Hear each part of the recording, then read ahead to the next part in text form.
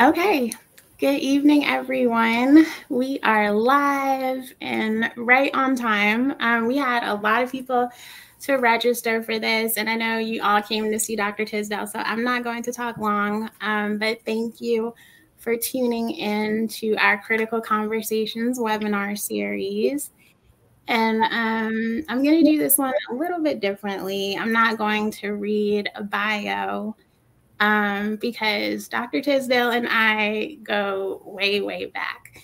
Um, I think that for at least 15 years, Dr. Tisdale was a household name because I just always heard his name and I heard that he was the one that was going to find a cure for sickle cell disease.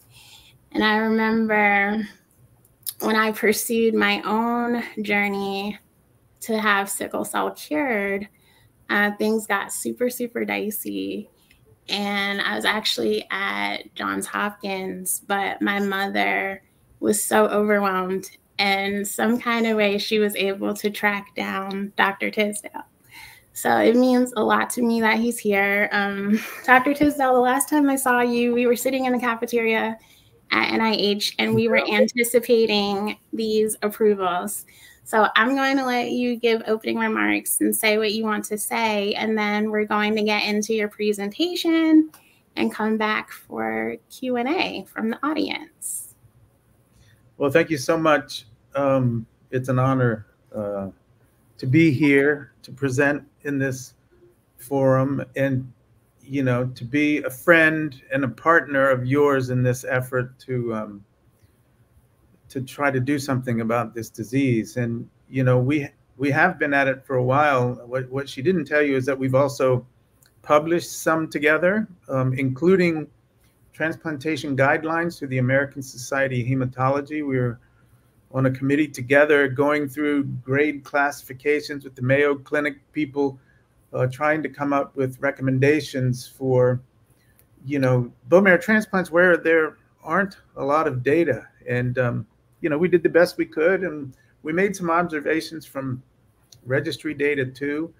And, um, you know, we've continued to partner and trying to, you know, make differences. Um, and, um, you know, I really admire your efforts in, in addressing, you know, a big problem with transplantation, that is uh, the infertility that we see after busulfan conditioning. So here we are. Uh, we had a little bit of a technical glitch, but we got here early enough to chat and uh, send the slides over.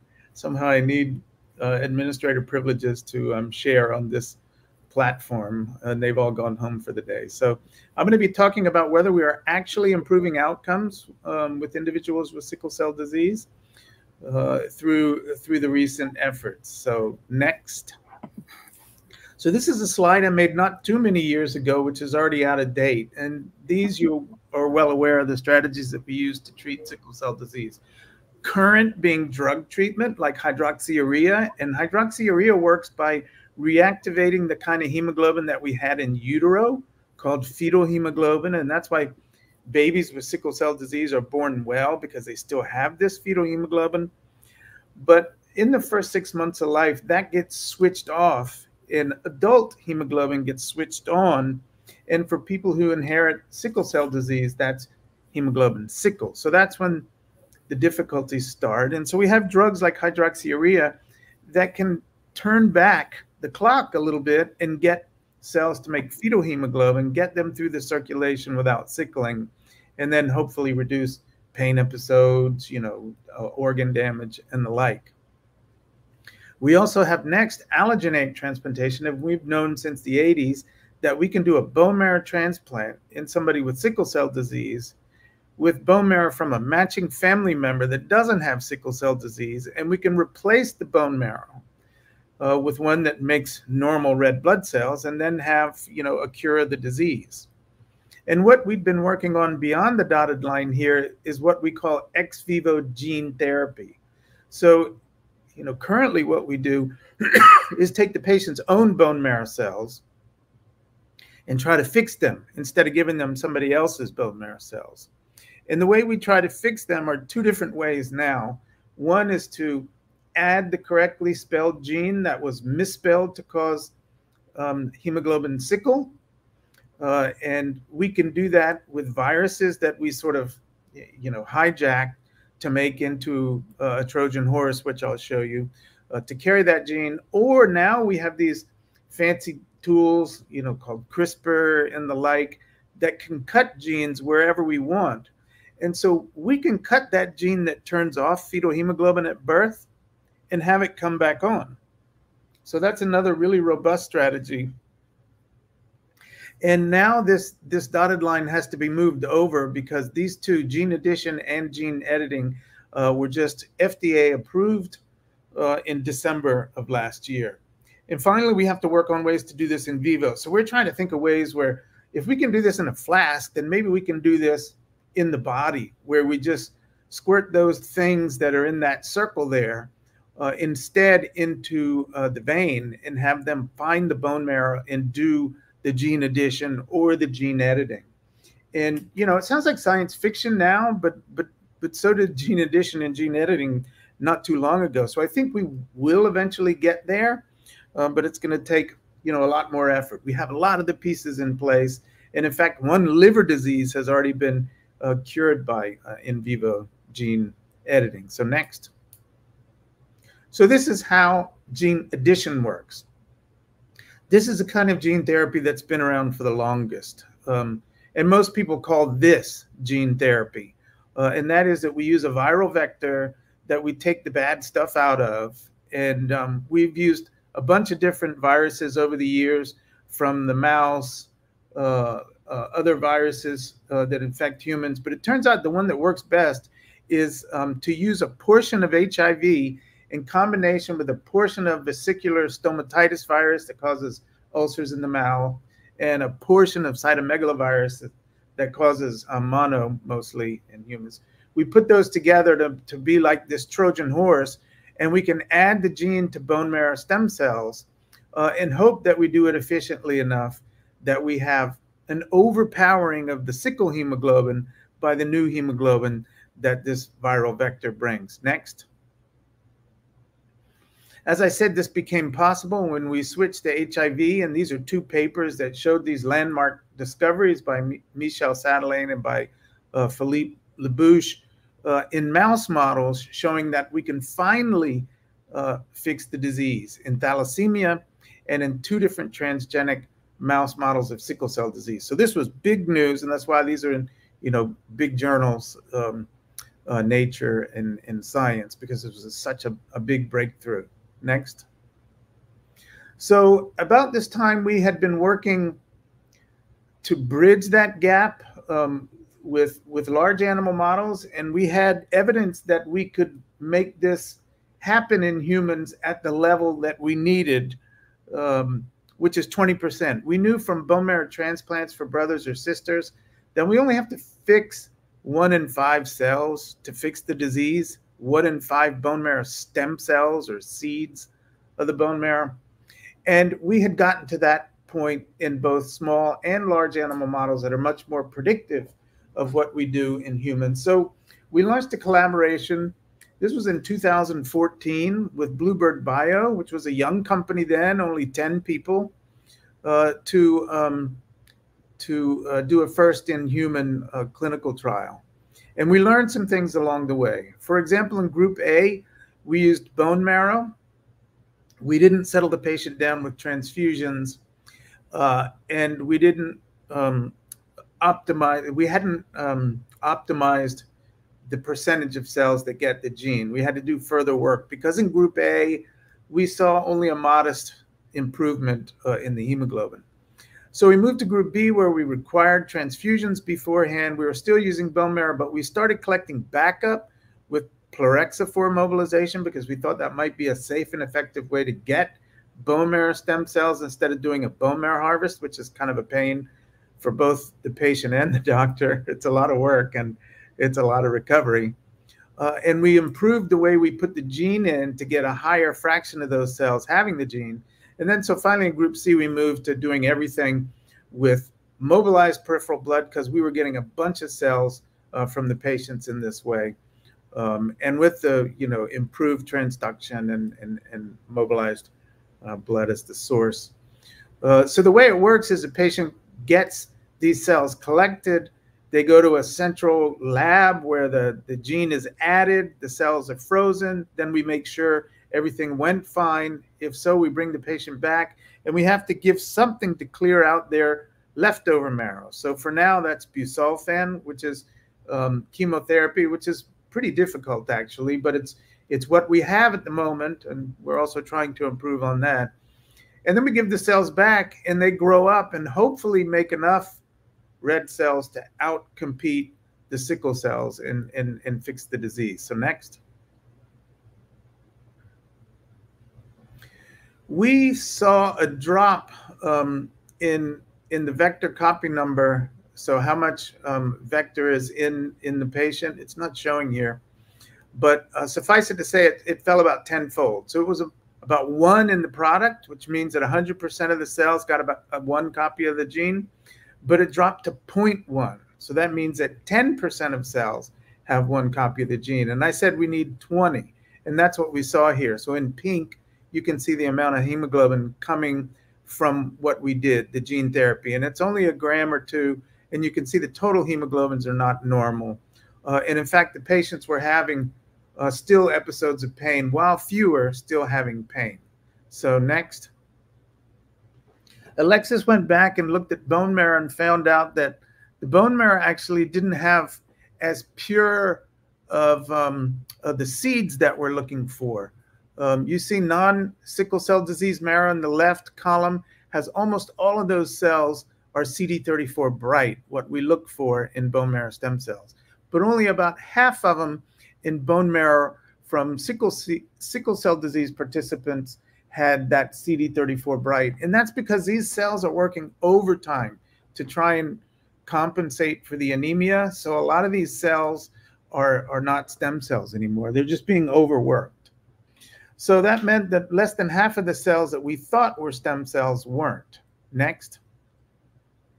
So we did mobilization with plerixafor, and what you can see in the top left panel is that we get a boatload of these cells in the blood when we do that much more than we do in normals. And again, that's probably because the bone marrow is revved up in sickle cell disease trying to compensate.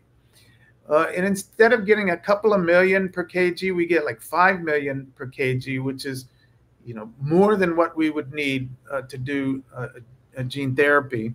And, you know, the bottom left shows that um, you see this a cluster of cells at the, at the third column almost 100% CD34 bright compared to the two columns on the on the on the left showing only about half. So these cells are not only more but they look better. Next.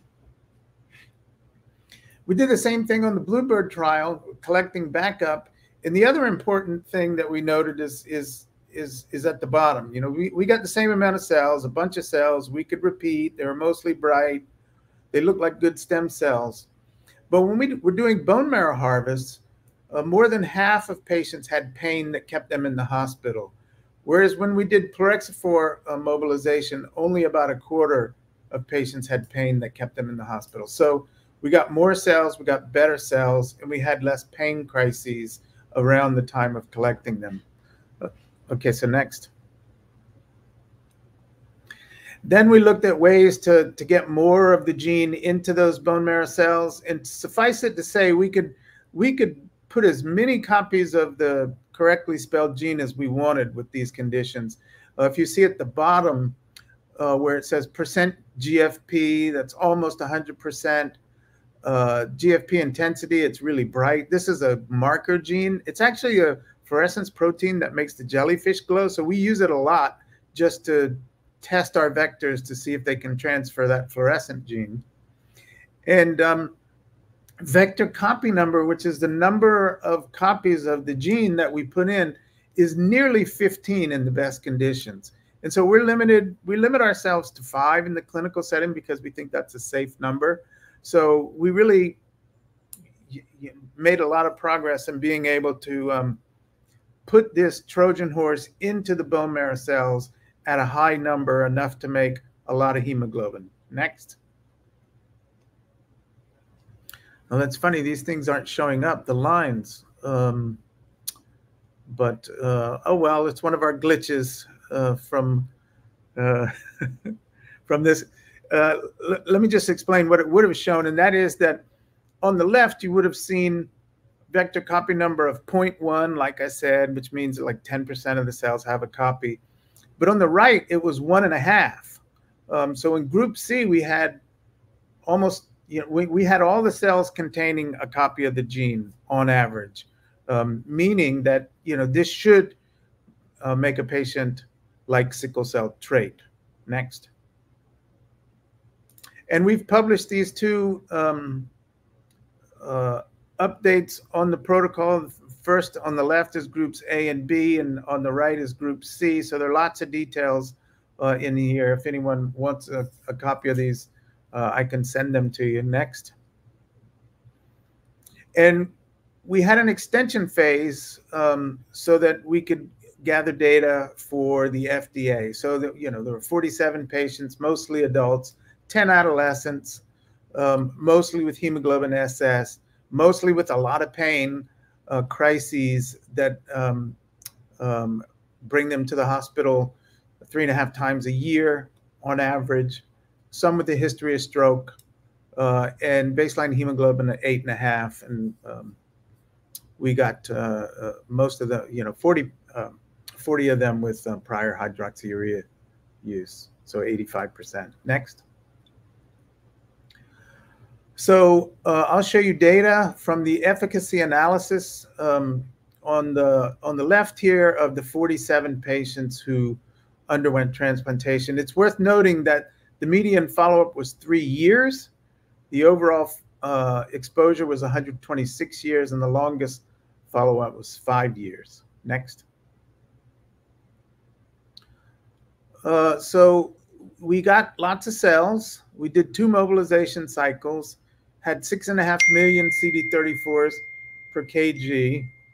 Um, and we had a really good vector copy number as before, so uh, greater than one on average.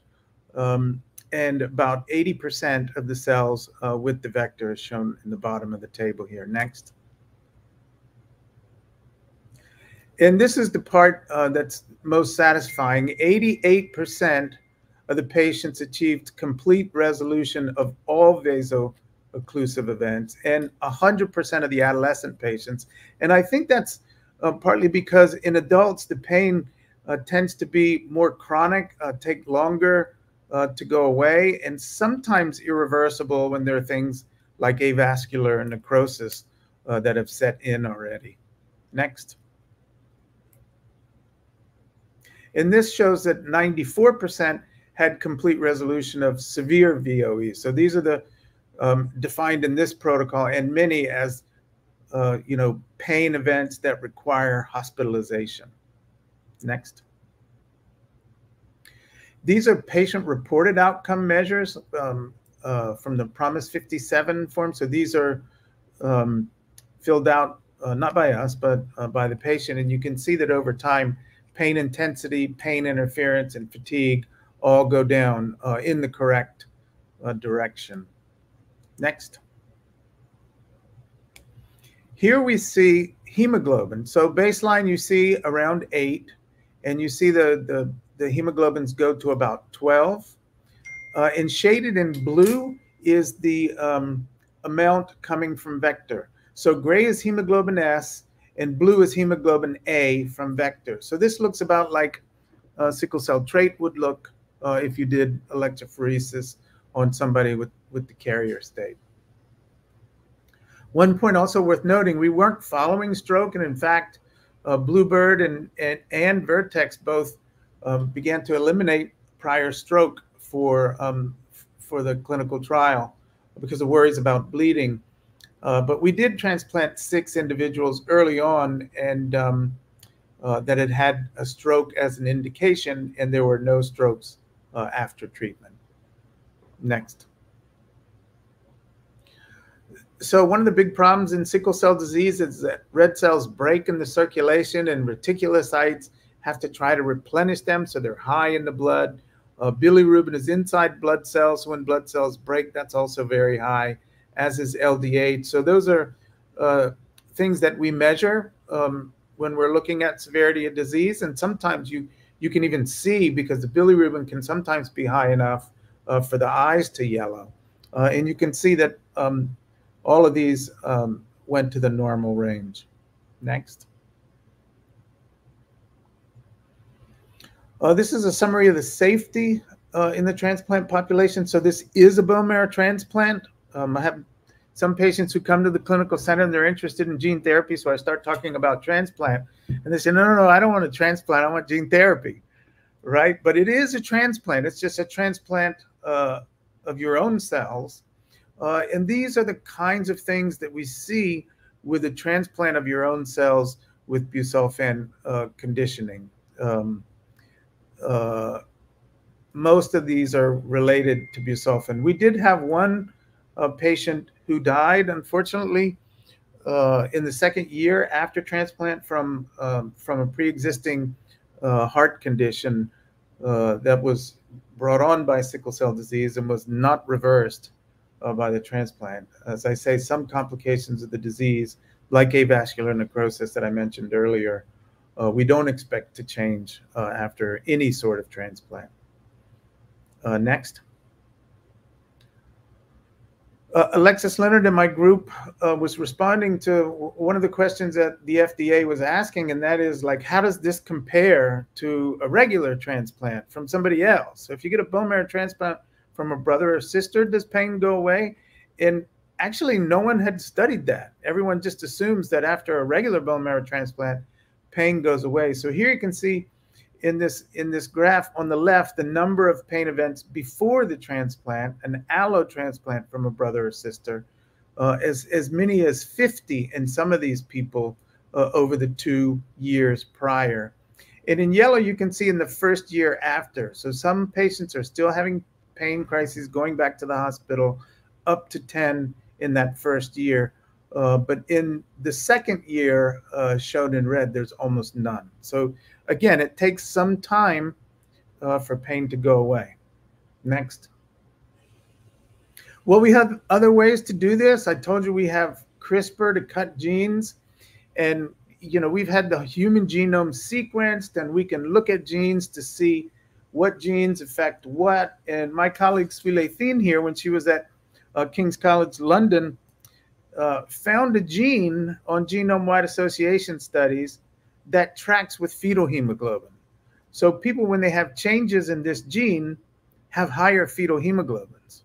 So many of us thought, well, maybe this gene is the switch that switches off fetal. And if that's the case, can we use these fancy new tools like CRISPR to cut that gene and make fetal turn on?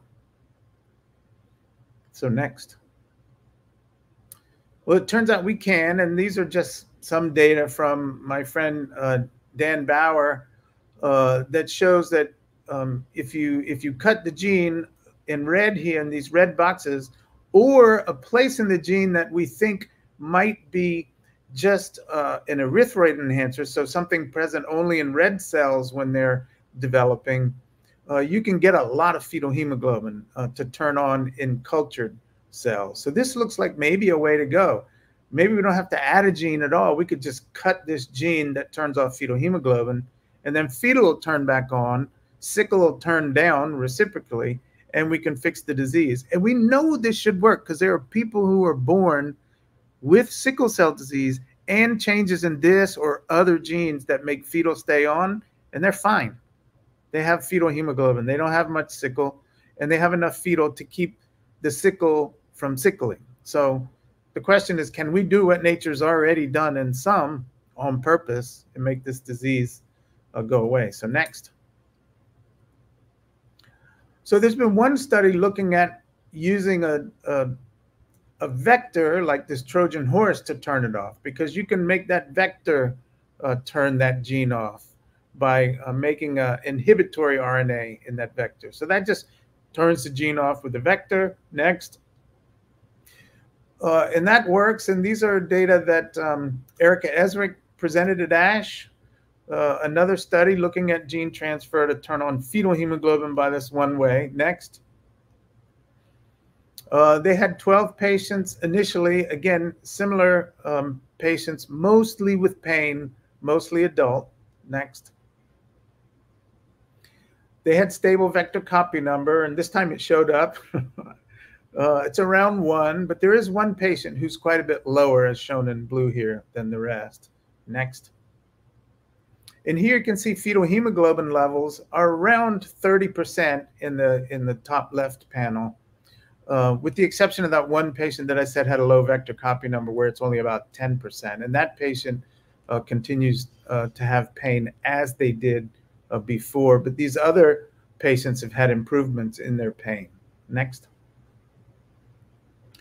This is about 30% of hemoglobin coming from fetal and now 60 to 70 uh, percent um, sickle. So this this is you know a, a, really good proof of concept, but I see this as as a little less than um, less robust in terms of the overall percentage. And you can see the hemoglobins are you know 10 and a half, not 12. But this this you know this approach is really really quite good, and I think they're making improvements now to improve a vector copy number to hopefully get most of these patients over the 30% mark. Next. And you can see the pre and post uh, pain events. There are a few um, uh, in these patients, including the one patient where uh, there was insufficient vector copy number. Next. Again, this looked like, you know, a standard bone marrow transplant. There were no clonal events or anything like that. Um, and one patient had a pathogenic mutation that we're all obsessed with measuring now, but they had that um, before the transplant too. So we don't think uh, the transplant had anything to do with it in, in this case. Next. So now, you know, these these kind of HIV-based vectors have been established in a number of diseases as medicine. So there's a bunch of New England Journal publications here: severe combined immunodeficiency, you know, the boy in the bubble disease, um, adrenal leukodystrophy, which is a brain disorder, thalassemia, you name it. These things are coming online now and getting uh, FDA approved. Next.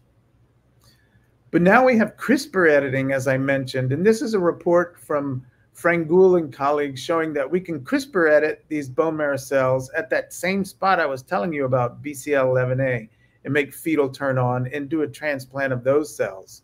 Next. Here shows the hemoglobin fractions um, in, in the two first patients, and it's pretty remarkable. One is a thalassemia patient on the left, and the other is a, um, is a sickle cell patient on the right. And all of these dots in the bottom panel uh, shown in blue are transfusions. Okay. And you can see their hemoglobin A transfusions as shown in green but it switches to blue, which is fetal hemoglobin. And in this patient, you can see nearly 100% of the hemoglobin is now fetal, and the hemoglobin is 14 untransfused. And this patient was dependent on transfusions uh, beforehand by all of these dots. And you can see no more dots afterwards at the bottom, no more transfusions. And a similar thing was seen in the sickle cell patient.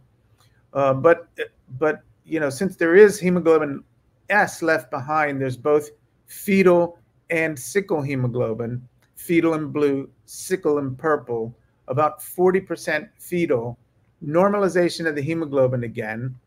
Um, and now you can see red dots at the bottom uh, in the blue shaded area before the intervention. Those are pain events, and, and the darker dots are transfusions. And you can see they go away uh, after, uh, after the infusion. So this was really exciting. And this study has now next um, been in a phase three uh, uh, format in both thalassemia, that's TDT, transfusion dependent thalassemia, and severe sickle cell disease. Uh, and I'll show you some of the data they used to, to justify their FDA approval. Next. So um, there's a full analysis set of 35 patients and a primary efficacy set of uh, 17 patients. Uh, this is shorter follow-up. If you look at the bottom, 11 months, in the full set and 19 months in the primary efficacy set. But everything else looks very similar, mostly adults, mostly with severe pain episodes, uh, similar, you know, drug product cell numbers and everything, and a very similar approach, you know, do the intervention, freeze the cells, bring the patient back, give them busulfan, give the cells back, have them recover, and hope that you have enough fetal hemoglobin uh, to make the patient better. Next. So here again, we see the, the primary outcome measure, they call this VF12, being free of vaso-occlusive events for 12 consecutive months was achieved uh, in the majority uh, of the patients. And uh, 15 of the 16 participants remained uh, VOC free uh, during their follow-up. Next. Uh, now, instead of measuring vector copy number, we can measure the percentage of cells that have that gene broken that, that holds back fetal hemoglobin and therefore allows fetal hemoglobin to turn back on. So that's shown in the top left. It's most of the cells, around about 75%. Um, and you can see um, editing in different fractions uh, and in bone marrow cells as well. So the editing worked. You know, most of the cells got that gene cut. Next. Here's the percent fetal hemoglobin. So you see it's a really nice total percent, 40%. And 95% of cells have that fetal hemoglobin inside of them. So that means nearly all of the cells have a hemoglobin that will protect against sickling. Next. This looks again the same as the last two. You know, most of the side effects are because we have to use busulfan. We can talk about whether we can ever get away from that, but at the moment, that's what we're stuck with. And um, and these are all the side effects that we're very unfortunately familiar with. Um, busulfan is a tough drug. It causes the cells to drop. People get fevers, um, mouth sores, nausea, vomiting, belly pain, that sort of thing. Um, but these are expected. Next. Uh, I can really skip this. We have new ways of doing editing now that I think are like even better. We have this um, field just exploding with enthusiasm and with new ways to do this, which I think will not be so tough on the cell. And in this case, instead of breaking a gene, this is kind of like a find and replace on your word processor. You, you know, you have somewhere uh, a C, um, you know, you can you can change it um, uh, to an A if you got a C, right? Who wouldn't want an A when they got a C? Anyway, you can just make these changes um, nearly at will. There's some restrictions, but it's a really great new way of doing things. Next. So there's now a, a, an investigational therapy uh, study that's opened. It's called the Beam 101. It's another way of making fetal hemoglobin turn on with this newer kind of technology uh, so that, you know, if you, you know, I've told patients that they may be able to find a site that's doing this, that they could participate in a, in a research protocol that's, you know, that's, um, that's doing something that's, you know, very likely to be similar to what we've seen before. Or now we have these FDA approved, you know, you could go for the ones that are approved and get, you know, get insurance or Medicaid um, to cover it. Next. So I think we can cure the disease. We know we can do it with an allo transplant. Now gene addition or gene editing, gene therapy uh, look pretty similar short term. Uh, we need to do better uh, um, with the toxicities from the conditioning, especially busulfan. Hopefully we'll be able to develop novel conditioning regimens where we use antibodies or something like that. And I'm really hopeful that we can make the genetic tools um, uh, uh, in a way that we can just squirt them in the vein and have them do the work and, you know, make it an outpatient procedure and not only reach patients in the U.S. that uh, that no doubt will have difficulty accessing these highly technical and expensive uh, forms of gene therapy that we have currently, but also in, in parts of the world where the disease is is more prevalent and the resources are more limited. So with that, I'll just flash the uh, next slide with the with the um, with the folks that help do all the work, and uh, thank all the patients that have been participants, um, teaching us over the years uh, what we needed to do to to to to make this happen. So.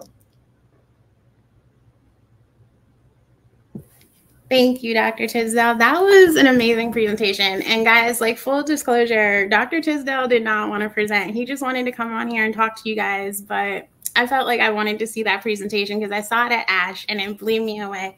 So I wanted you guys to see it too. Um, but now, Dr. Tisdale, we can back up and we can get into the conversation that you wanted to have.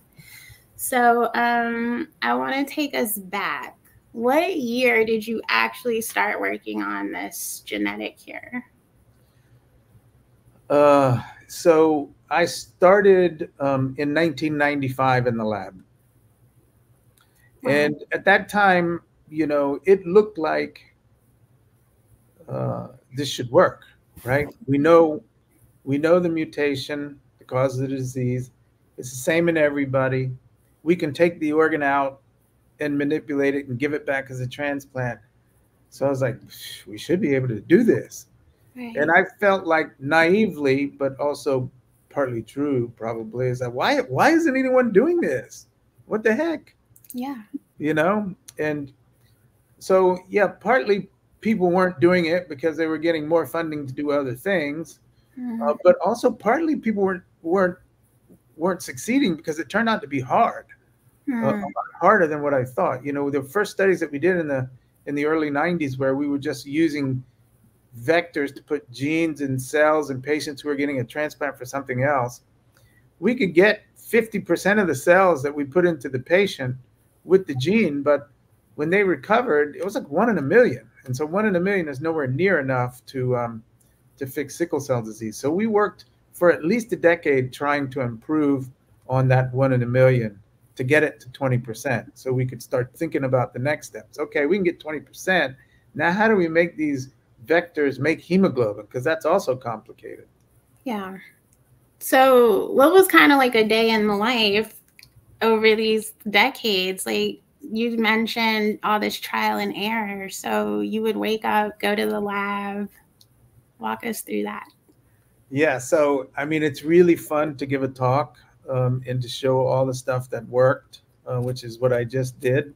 Mm-hmm. Um, but you know, sometimes I like I show this one slide where we were trying to ask the question: if we put a gene into bone marrow cells, um, how many bone marrow cells will make blood, and will they make blood for the life uh, of the animal? And we had this way of like tracking cells and and seeing how many they were there were and how often they contributed and this, that, and the other.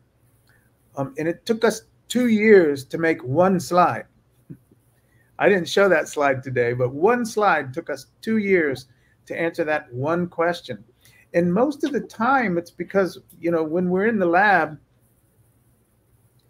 uh, we're mostly doing troubleshooting. Something didn't work. Some vector didn't work. We added something that we thought was going to make it better. It made it worse we figured out why we did something else. So you know a day in the life is that you come to the lab and most things don't work. Um, and we have fun you know talking about the data that we get um, pushing each other to think about different reasons for what we got trying to come back the next day and do it better uh, and, and and make advances. But you know these big these big aha moments like the the, the vector finally working, you know, those are once every five or so years, you know. And the rest of it is, you know, sort of like brick building, right? I like to think of it as brick building. Just, you know, you just laying one brick after the other. And um, for me, that's that's most of it, right? You you go to work every day and you lay bricks every day. Before long, when you come back, there's a big old building in front of you and you even wonder yourself how it got there, right? Wow. But it's that daily bricklaying that um, that that you know finally got us to where we are, and that we have to continue to do to make it easier, uh, less cumbersome, um, less toxic, less expensive, yeah, more accessible, those things. Yeah, so let's let's talk about the vector a little bit because I remember when the 60 minute special came out and um, you and Dr. Collins you were talking about this HIV vector and um, I'm gonna be like I was one of the people who didn't even understand what a vector was, and my first question was like, why did they choose HIV? So I want you to talk to us a little bit about why the HIV vector in particular, and um, what you say to people who are nervous about using that particular vector. Yeah, I mean, um, it's it's uh, it's a little bit crazy sounding, right? That you're gonna do what? You're gonna give me HIV to get rid of my sickle cell disease? No thanks. Yeah. I've I've heard about that story before, you know, right? So, um, but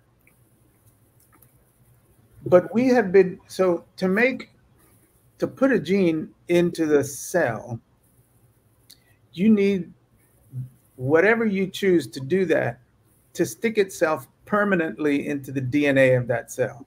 Mm-hmm. Right?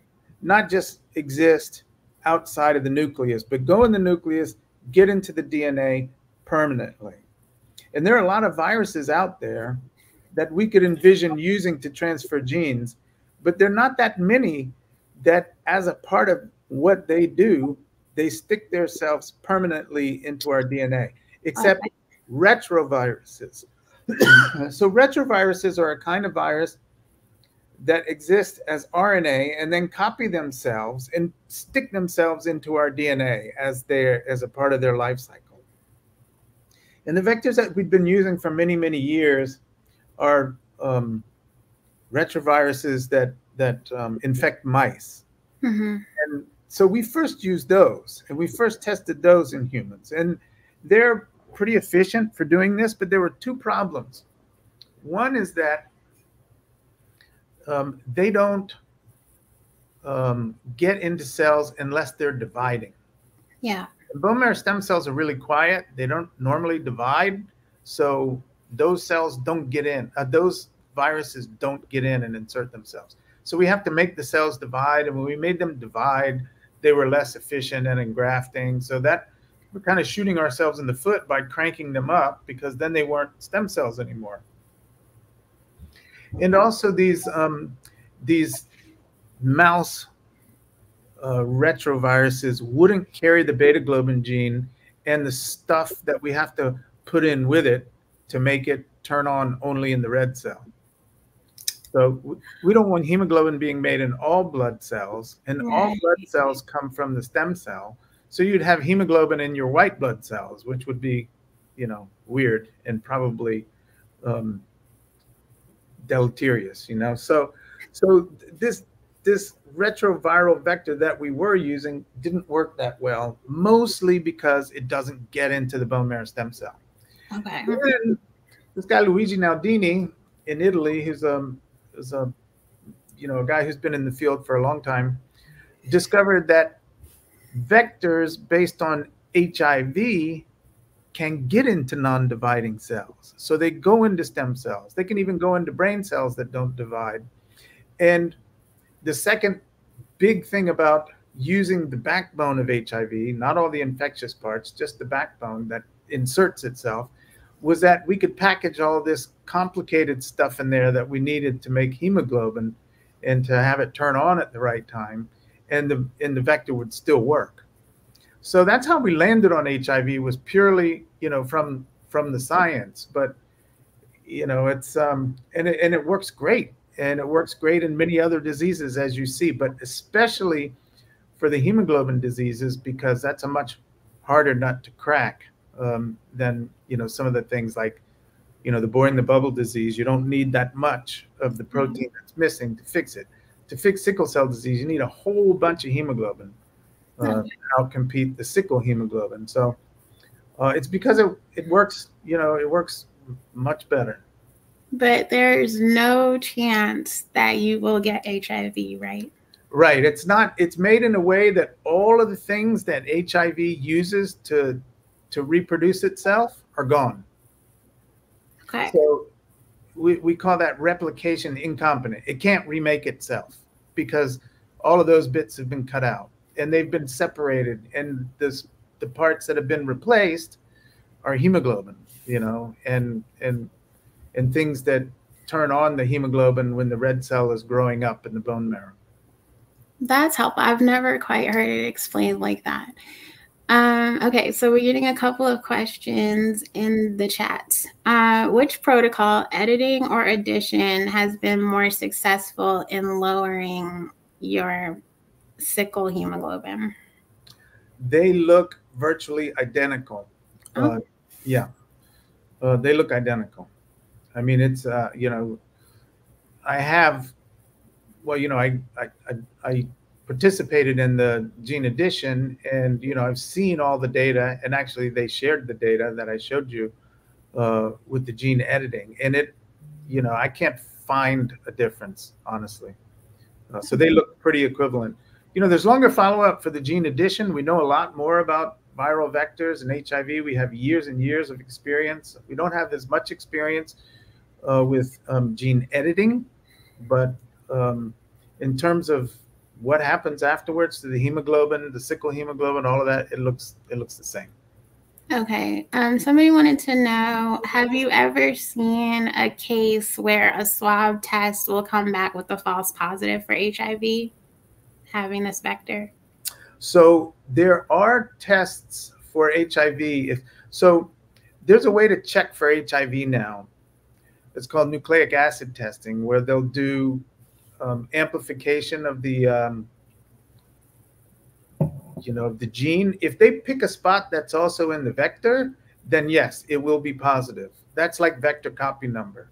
Uh, but but the traditional antibody test you know where you yeah. um, where you're screened will not be. And we've you know we've had to uh, counsel our patients on that that have gotten vector. If they do nucleic acid testing and they're using a test that you know is you know looks for part of the vector then yes it will be positive.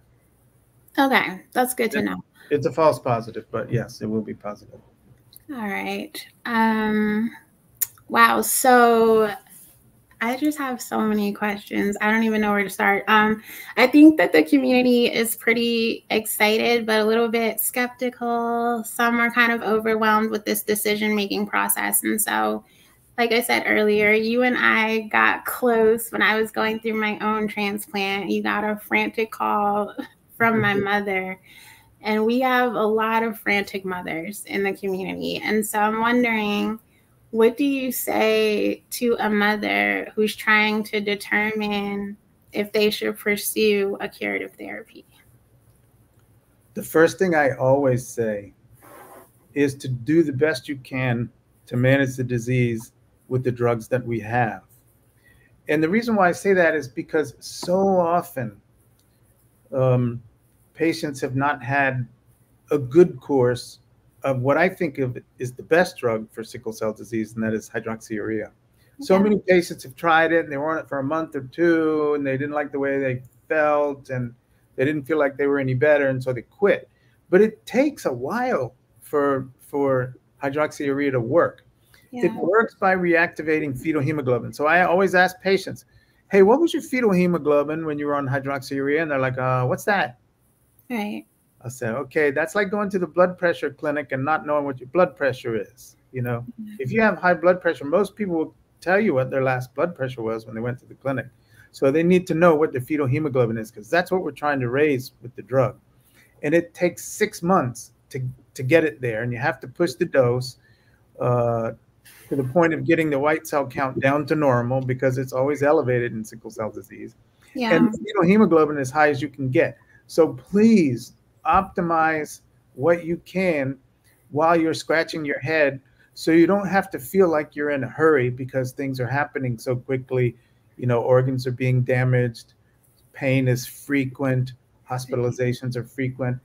Hydroxyurea can help take the load off uh, and give you some breathing space and preserve organ function so that you know if a parent is not ready to make that decision the kid, once they're an adult, uh, can make the decision with intact organ function.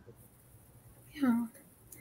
Okay, so are you saying that like somebody, if somebody came to you with their toddler and they were just ready to cure this disease, your advice would be to first start hydroxyurea? Yes. Okay. Especially so, a toddler, because the yeah. results with hydroxyurea in toddlers is really extraordinary. I mean, the fetal hemoglobins go out the roof. So this is what's really interesting because like when you're talking about the oncology space, right? And we're talking about bone marrow transplants, it's usually like life or death. They have to do it. So how do you how do you navigate? Like how do you know when it's time to be pursuing a genetic cure? So the the problem with the genetic cure at the moment is busulfan. Right. And the fact that you have to get a transplant and therefore sign up for all of the side effects of a transplant. Most parents are reluctant to make that decision because that means that their kid is not going to be able to have a kid on their own. Yeah. And it's a really hard decision for a parent to make when when you don't know what the child is going to want. I mean, let's face it, most people do want to have kids, right? So it's it's it's taking that you know prospect uh, out of the equation. Well, now we can do you know fertility preservation by uh, you know freezing eggs, freezing sperm, um, and you know that that helps. It doesn't guarantee uh, that the that the person will later be able to have a child, but that's that's a hard decision. So you have to, you know, you have to weigh like, okay, so am I going to do this right now with my kid who could be doing really well on hydroxyurea, uh, and wait around? You know, maybe maybe it's going to be better. Maybe the next protocol is going to be better. Maybe there are going to be ways to do conditioning that aren't so toxic. Um, versus, you know, I mean, the other side of the coin is that kids tolerate things right. well because you know they they don't have built up organ damage. They tend to be tougher anyway uh, than than adults for these kinds of things. So you know it's a it's probably a better shot uh, to to get it early when you know you remember when we were looking at transplant outcomes uh, in the bone marrow transplant registry data what we found was that if you're going to get a transplant from a matched sibling with sickle cell disease, the best results are six or younger. Mm. I mean, they're like you, you, you know, 99% cure rates with not much in the way of toxicity. So, you know, may wind up being true for gene therapy too, that the earlier you do it, the better. Yeah but it's a decision that has to be made with all of these things in mind you know? Are they going to be able to have good care? Do they have a good response to hydroxyurea? Is the fetal hemoglobin high? Are they now out of pain and growing you know at a normal rate uh, compared to their uh, their peers those kinds of things? And if that's the case and i think you can sit back for a little bit. On the other hand mm-hmm. you know if they have you know risk for stroke having pain in the hospital over and over, hydroxyurea is not helping, then you have to think about whether this makes sense. Okay, right. I'm really glad you said that because I do want to acknowledge that we have Bernicia in the virtual audience and she did. She has a very young child um, who is, they're kind of in the decision making process and her child did not have a good response to hydroxyurea. So I do want to acknowledge that we know yeah, not everyone responds. You know, right. that's. Um, but uh, you know, but again, if it hasn't been tried properly, I I always um, try properly, and we think it's also helpful as a way to get ready for a regular transplant to be on hydroxyurea and cool things down. Yeah. So for a regular allo transplant, we always put people on Hydrea and push it before the transplant. Right. And I think that's an important point because I think a lot of times we think about like disease modifying therapy or genetic cure, but you kind of need disease modifying therapy to preserve you for a cure. And so right. that's also an important point. Um wow. So okay, another question. Like as a mother, if I came to you and I said, I'm trying to decide between an unmatched um allogenic like transplant or gene therapy as someone who's been on like behind the scenes working on both what would you say? So um, for an unmatched, I would say go with gene therapy. Um, with an unmatched or a matched unrelated donor, uh, the results just don't seem as good as the gene therapy approaches. However, um, the Vanderbilt group just presented data at ASH uh, about uh, half matched transplants. Yeah. And, um, you know, with a few tweaks in the regimen, it looks a lot better. Okay. Um, with, you know, 90% of kids with good engraftment and low rates of graft versus host disease. And I think 100% of adults um, with engraftment and low rates of graft versus host disease. So this is, you know, this is where we need to now focus on this or that. I think that this or that is is matched uh, um, haplo transplant versus uh, gene therapy. Um, you know, there are benefits to both. I mean, so gene therapy, there's no graft versus host disease. Um, if it doesn't work, you can get a haplo after, you know. Yeah.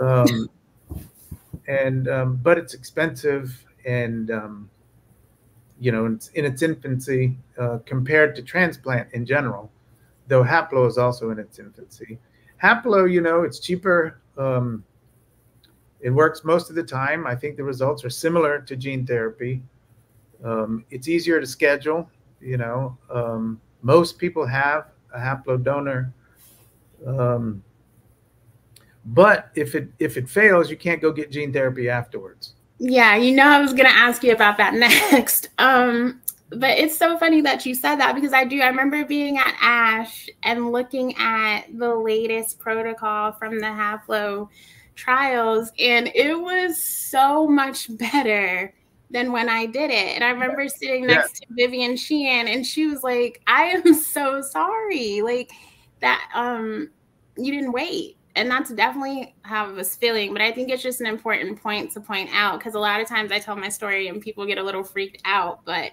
that was 13 years ago, and science has come such a long way since then. So I just want to make sure that I say that.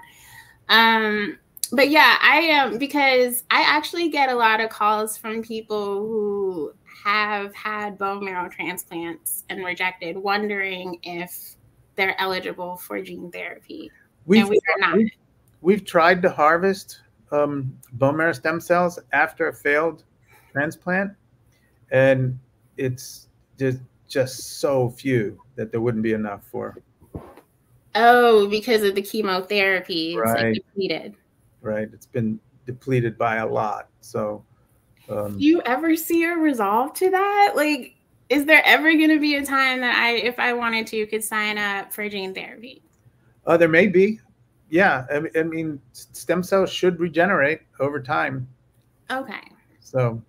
Okay. But, so. but it's also possible, and, and I, I, want to be sure to mention that if you reject the haplotransplant, uh, you can try again with the opposite half. So you match half, right, with your donor.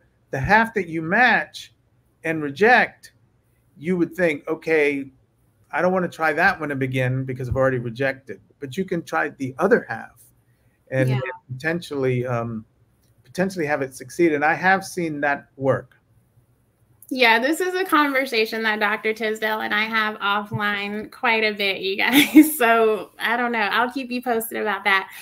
Uh, is overt stroke still within the inclusion criteria at the NIH trial? So for um, for our transplant trials with a brother or sister or a half match? Yes. Um, we don't have a currently open gene therapy trial because the the you know the FDA approved it and we only do research here. So now those things can be done at centers that have um, you know that have signed up to do it. I think they're allowing uh, stroke as an indication, though on the trial uh, they didn't. And what about organ damage? If you have a little bit of organ damage, can you still pursue gene therapy? Yeah, it depends on the extent. Um, so you need to have a, you know, mostly normal liver, kidney, heart, lungs, but um, the um, I think most patients are within the uh, inclusion criteria. Um, it has to be, you know, pretty bad to exclude you. Um. On our matched donor transplants, because it's uh, no chemotherapy, you know, we'll take, you know, just about any degree of organ damage. Really? Yeah. I didn't know that. Yeah. Wow. Okay. Um, is there an age cutoff? So there was an age cutoff on the trials, um, but not on the FDA approved products, except okay. that um, there's a lower limit of 12. Okay. There's not an upper limit. And we don't have upper limit on our allo transplant protocols. Okay. Um, does does the gene addition protocol wipe involve full T cell ablation? So there's no T cell ablation in any of the gene therapy protocols. So busulfan doesn't do much to T cells. So, for example, immunity um, is pretty preserved, like vaccine immunity and that sort of thing is pretty preserved. We do have a um, um, a habit of revaccinating people uh, in the year after transplant. Yeah. Um, but you know the, the the T cells aren't really bothered much by busulfan. And I didn't really understand that because if I rejected, why did I have to get revaccinated? Because you had cyclophosphamide too, and you had a lot of it. Uh, so, so, you know, the first transplants and the first for sickle cell disease used busulfan right. and cyclophosphamide.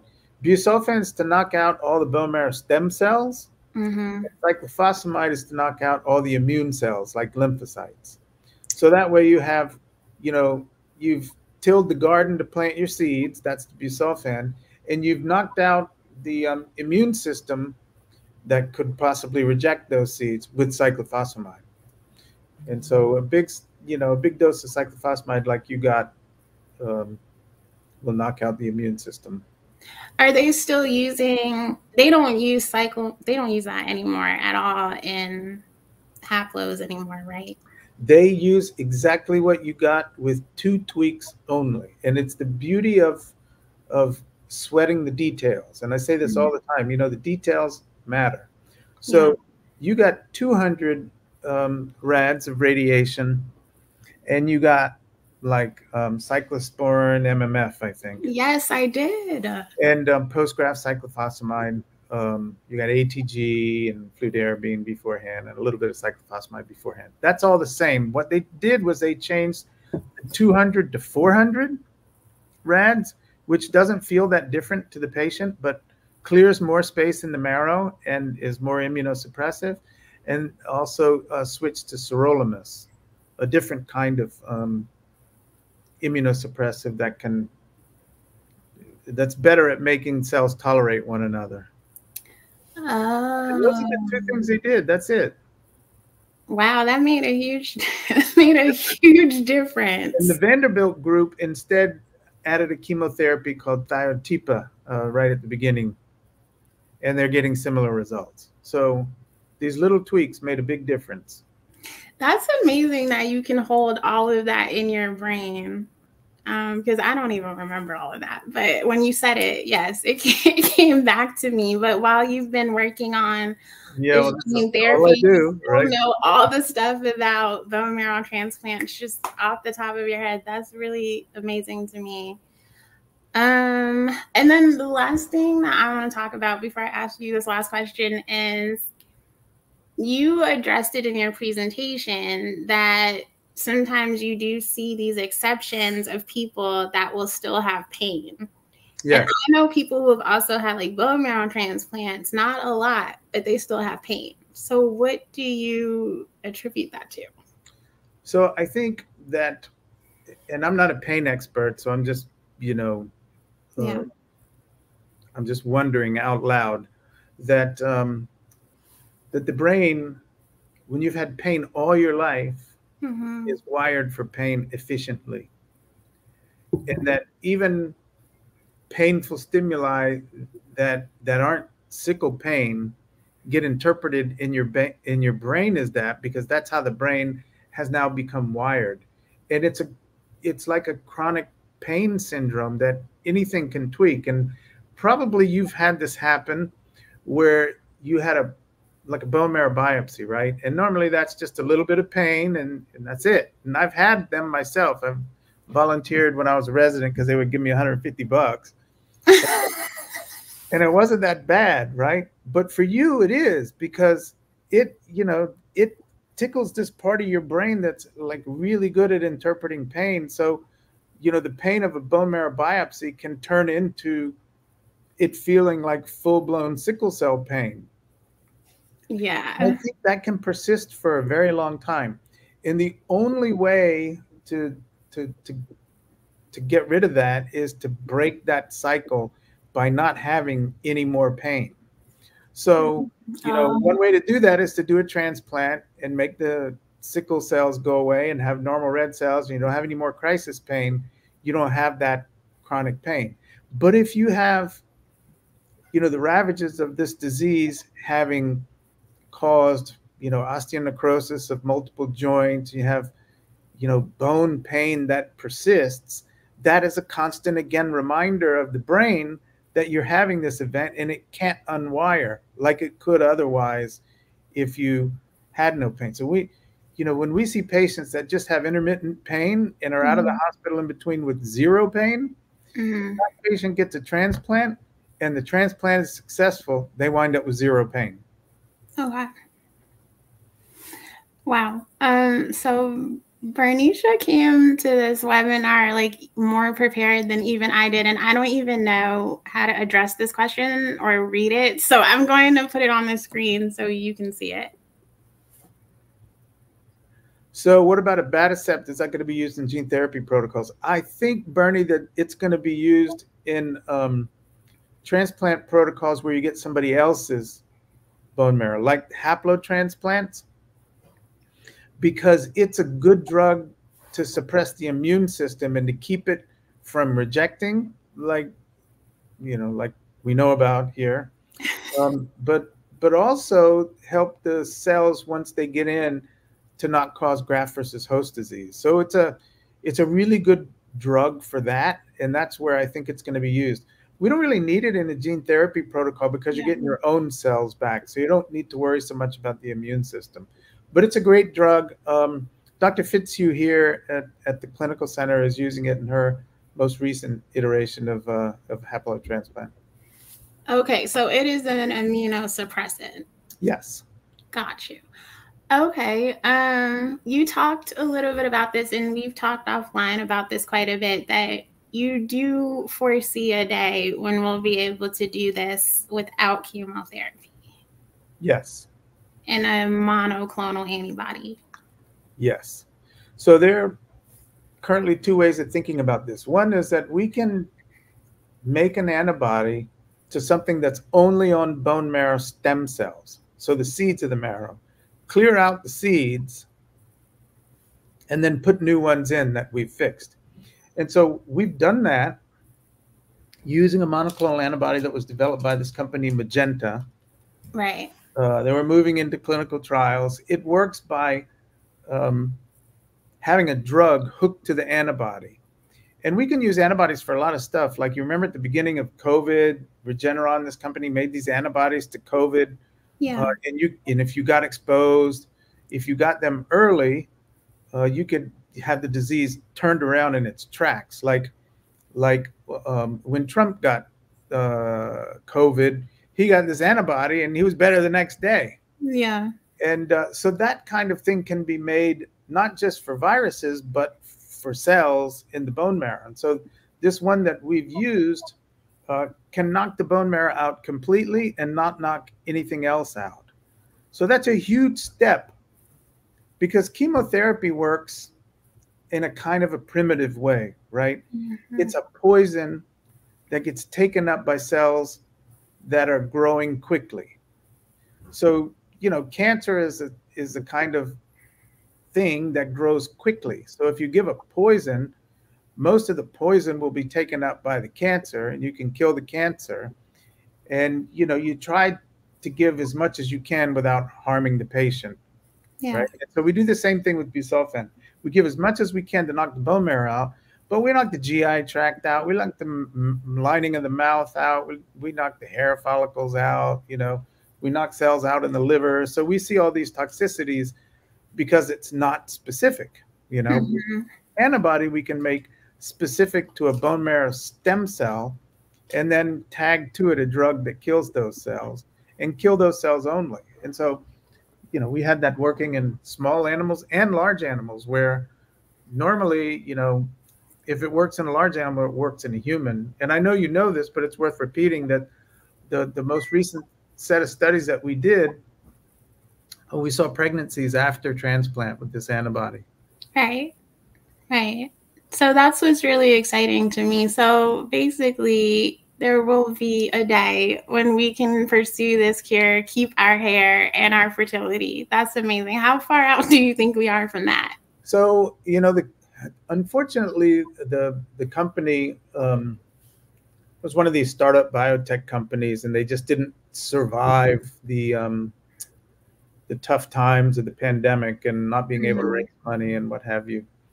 Uh, but the technology still exists, and I know there are other companies with interest um, in developing this, and so I'm hopeful that you know one of these ones that's already out there, you know, Bluebird or CRISPR Vertex, will will make us their next step, testing um, you know an antibody approach.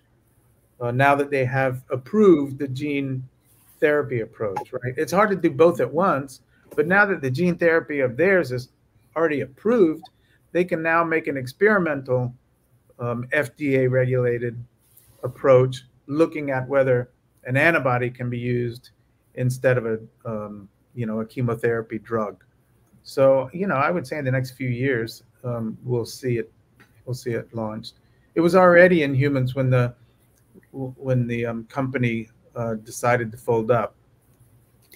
Wow. Well, I'm not going to call out any names, but on the registration, I saw a couple of people associated with some larger pharmaceutical companies, not yet in the sickle cell space. So maybe after this, you'll start getting some phone calls. Yeah, hope so. um, yeah. So I think I asked everything. Um, from an emotional standpoint, though this is something that you've been working on for a very long time. So the day that you found out these therapies were approved, what did you do? What was your reaction? I mean, I almost fell over. My my cell phone was blowing up, of course. So that's mostly uh, responding uh, to all of that. But um, I I I called Roderick Murray's wife. That's what I did to make sure she knew because he was the first patient to to to do this. Yeah. And um and he knew being the first person to go in a gene therapy protocol meant that the likelihood of it working was a lot less than the ones that would come after him. Yeah. Somebody had to do it, and he was doing it for those after him. Yeah.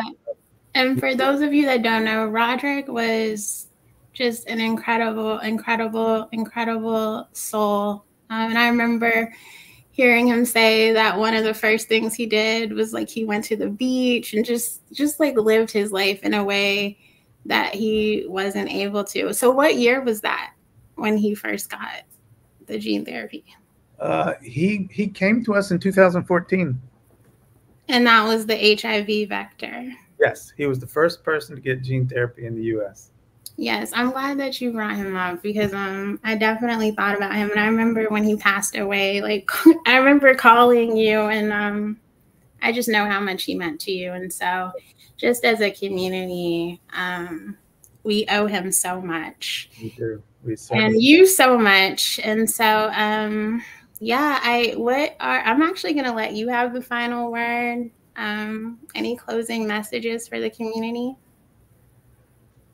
Well, I mean, for me, it's a it's it's it's been quite a journey, you know, to be in the space where, you know, I mean, when I first started, patients were basically ignored, right? Just get them in, get them out, give them as little pain medicine as you possibly can. I mean, that's that's what I heard people saying, you know, and Yeah. but it came it became quick quickly clear to me that that that people were coming in the hospital because they were in a lot of pain. And and at that point that's all we had was pain medicine. So i always did my best to make sure i at least you know i can't fix the sickle cell disease but i can definitely make the pain if not go away way better with the medicines that we have. And and to now be to the point where we can actually make the disease go away and and and get rid of the pain medications and have a life started that was always stuttering with stops and starts. I mean, it's it's really extraordinary.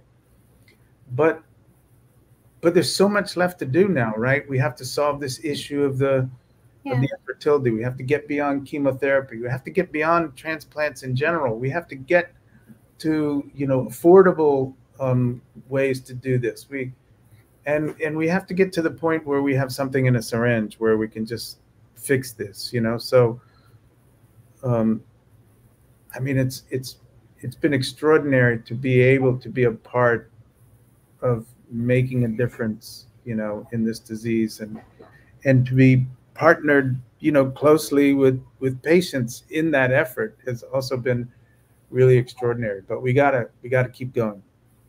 Okay, so to answer the question in the presentation, we are moving the needle, Yes, but you hope to move it even further. yes. All gotta keep moving the needle. that's perfect. Well, I want to thank everybody for joining us. And um, this webinar, I know it was like a lot to digest, so it will be housed on our YouTube channel. You can rewatch it, you can share it. And again, we just thank you for joining us, and we'll see you next time.